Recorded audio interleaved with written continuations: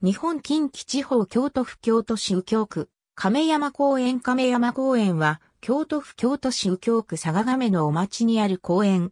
正確には、京都府立嵐山公園の一部であるが、公園内の高台に、亀山天皇を含む三天皇の仮想塚にちなんで、亀山公園と通称される。周辺は、いわゆる嵐山地区であり、四季を通じて観光客が多く、特に桜と紅葉の季節は賑わう。小倉山の南麓に位置し、東隣は天竜寺、北隣は大川地山荘があり、佐賀の巡りのルートの一つにもなっている。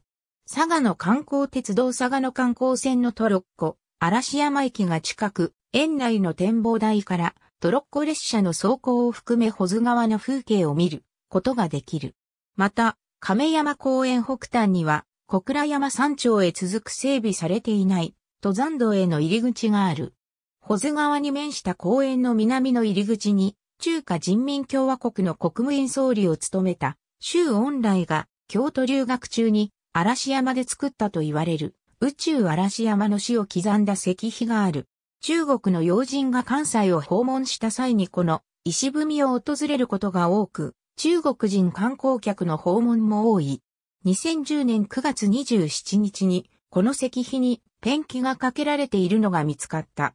尖閣諸島中国漁船衝突事件や中国での藤田社員拘束問題との関連性が指摘されており、京都府警が捜査を行っているが、石碑の設置者である周恩来総理記念碑非建立委員会は問題が大きくなることを恐れてか、被害届の提出を見送るとしている。地碑にほど近い場所に門倉良医像がある。現在の像は2代目で、1代目の像は大正元年に建立され、戦時中の資材教室で撤去された。現在の像は1988年に地元の有志が設置したものである。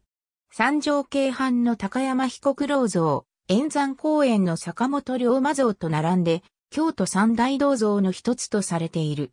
小倉百人一種の歌碑のうち、亀山公園内には、周囲和歌集11種、古今和歌集24種、五周囲和歌集14種の合計49種分が設置されている。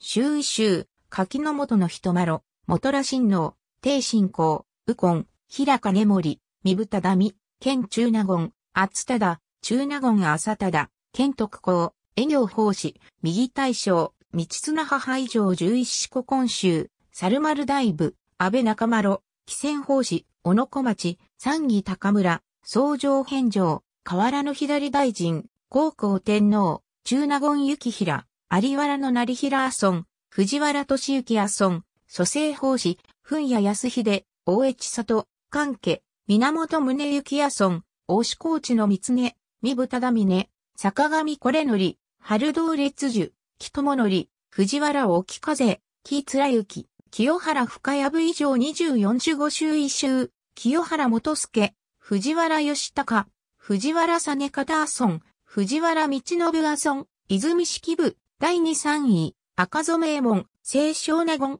左京大部、道正、県中納言、正房、相模、三条院、小野院帽子、両線法師以上14種桂川より、標高差約40メートル。保津川を挟んだ対岸の切り立った岩場には、門倉良医ゆかりの先行時代比較が見える。ありがとうございます。